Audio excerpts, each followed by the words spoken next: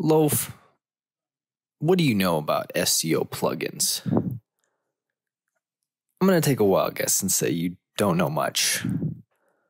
Like, you probably don't know anything about Yoast or SEOPress, which one to choose, and how to decide whether you should go with the free option or whether you should pay. You're just doing what you always do and trying to get that ball stuck under the couch. But today you've chosen to not lose it under the couch. You've chosen to learn about SEO plugins, where to put the title, and the meta description. Potentially some of the simplest things you can do, but yet the most impactful. So, Loaf, today, what do you choose? Lose the ball under the couch or learn about SEO plugins? That's my boy. Let's go learn about some SEO plugins with the link below.